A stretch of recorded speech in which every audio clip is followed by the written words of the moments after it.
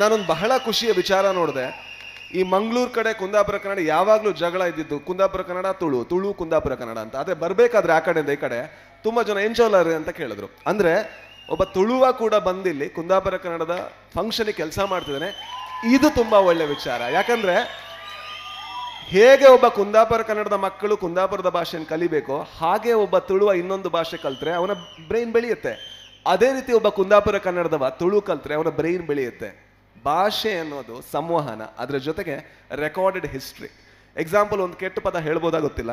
ನಮ್ಮೆಲ್ಲ ಕಡೆ ಬ್ಯಾವರ್ಸಿ ಅಂತ ಬೈತೀವಿ. ಅದೇನು ಹೇಳುತ್ತೆ ಅಂದರೆ ಬೇವಾರಿಸ್ ಅನ್ನುವಂಥ ಉರ್ದು ಪದದ ಅಪಭ್ರಂಶ ಅದು. ಹಾಗಾದ್ರೆ ನಮಗೂ ಮತ್ತು ಉರ್ದುಗೂ ಒಂದು ಕನೆಕ್ಷನ್ ಇತ್ತು ಅಂತ ಅದನ್ನು ಹೇಳ್ತಾ ಇದೆ.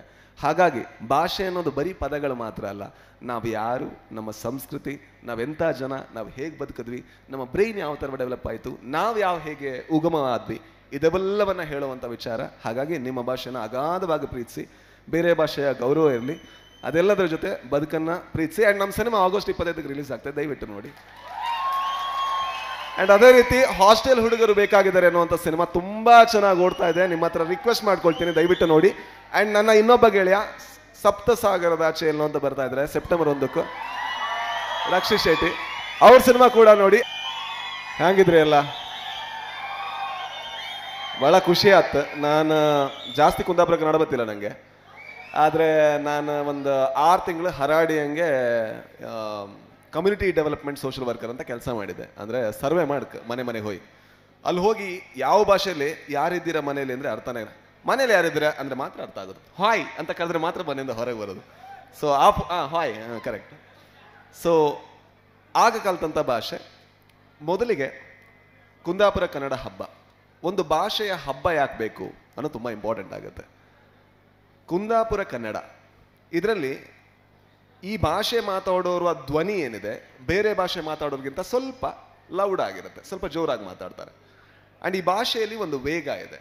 ಇದು ಯಾಕೆ ಬಂತು ಅಂತ ನಾವೇನಾದರೂ ನೋಡಿದ್ರೆ, ಈ ಕುಂದಾಪುರ ಅನ್ನೋದು ಕೃಷಿ ಪ್ರಧಾನವಾದಂಥ ಸಮಾಜ. ಮೊದಲಿಂದ ಕೂಡ ಕೃಷಿ ಕೆಲಸ ಮಾಡ್ತಾಯಿದ್ರು ಆ್ಯಂಡ್ ಅದರ ಜೊತೆಗೆ ಜನಸಾಂದ್ರತೆ ಯಾವ ಥರ ಇತ್ತು ಅಂದರೆ, ಇಲ್ಲೊಂದು ಮನೆ ಆದರೆ ಅಲ್ಲೊಂದು ಮನೆ ಗದ್ದೆಯಲ್ಲಿ ಇಲ್ಲೊಬ್ಬ ಕೆಲಸ ಮಾಡ್ತಾ ಇದ್ರೆ ಆ ಕಡೆ ಇನ್ನೊಬ್ಬ ಕೆಲಸ ಮಾಡ್ತಾ ಇದ್ದ. ಹಾಗಾಗಿ ಆ ಭಾಷೆ ಇನ್ನೊಬ್ಬನಿಗೆ ದಾಟಬೇಕು ಅಂದರೆ ಜೋರಾಗಿ ಮಾತಾಡಬೇಕು. ಅದರ ಜೊತೆಗೆ ಜಾಸ್ತಿ ಪುರ್ಸೋತಿಲ್ಲದ ಕಾರಣದಿಂದ ವೇಗವಾಗಿ ಮಾತಾಡಬೇಕು. ಇದರಿಂದ ನಮ್ಮ ಭಾಷೆ ಹಾಗೆ ಹಾಗೆ ಬದಲಾಯಿತು. ಆದರೆ ಇನ್ನೊಂದು ವಿಷಯ ಅರ್ಥ ಮಾಡ್ಕೋಬೇಕು ನೀವು. ಅದರಿಂದ ನಮಗೆ ಮನುಷ್ಯರಾಗಿ ಕುಂದಾಪುರದ ಜನಗಳಿಗೆ ಏನು ಲಾಭ ಆಗಿದೆ ನಮ್ಮ ಭಾಷೆಯಿಂದ ಅಂತ.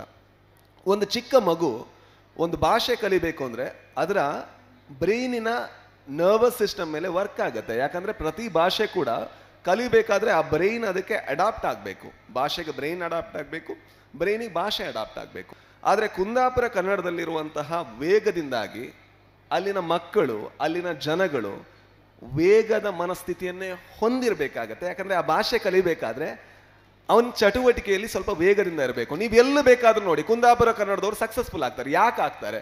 ತುಂಬಾ ಇಂಪಾರ್ಟೆಂಟ್ ಕಾರಣ ಅವರ ಭಾಷೆಯಿಂದಾಗಿ ಅವರ ಭಾಷೆಯಿಂದ ಮನಸ್ಥಿತಿ ಬೆಳೆಯುತ್ತೆ, ಮನಸ್ಥಿತಿಯಿಂದ ಯಶಸ್ಸು ಬೆಳೆಯುತ್ತೆ. ಹಾಗಾದ್ರೆ ನಿಮ್ಮ ಮಕ್ಕಳಿಗೆ ಏನಾದರೂ ನೀವು ಕುಂದಾಪುರ ಭಾಷೆಯನ್ನು ಕಲಿಸ್ತಾ ಇಲ್ಲ ಅಂದ್ರೆ, ನೀವೇನು ಮಾಡ್ತಾ ಇದ್ದೀರಾ ಅಂದ್ರೆ, ಬೇರೆಯವರ ಹಾಗೆ ಎಲ್ಲರ ಥರ ನಿಮ್ಮ ಮಕ್ಕಳಾಗೋ ಥರ ನೋಡ್ಕೋತಾ ಇದ್ದೀರಾ. ಆದ್ರೆ ನಿಮ್ಮ ಭಾಷೆಯನ್ನು ಕಲಿಸಿದಾಗ, ಆ ವೇಗ ಅವರಿಗೆ ಹೊಂದಿಕೊಂಡಾಗ, ಅವ್ರು ಯಾವ ರೀತಿ ಬೆಳೀತಾರೆ, ಅದು ಇಲ್ಲಿ ತನಕ ಕುಂದಾಪುರದವ್ರನ್ನ ಎಲ್ಲ ಕಡೆ ಯಾವ್ದು ಯಶಸ್ಸು ಮಾಡಿದೆ, ಅದೊಂದು ಸೂತ್ರ.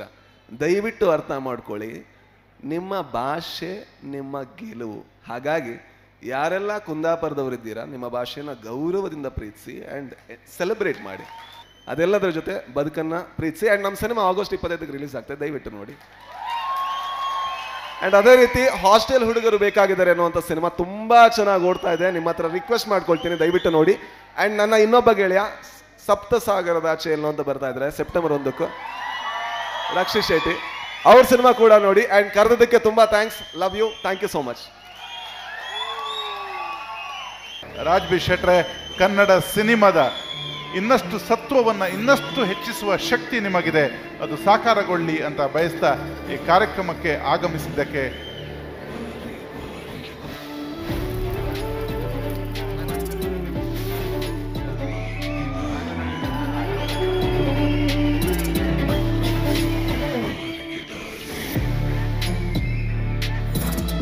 thank you thank you thank you ಶೆಟ್ರೆ thank you ಕಾರ್ಯಕ್ರಮಕ್ಕೆ ಬಂದಿದ್ದಕ್ಕೆ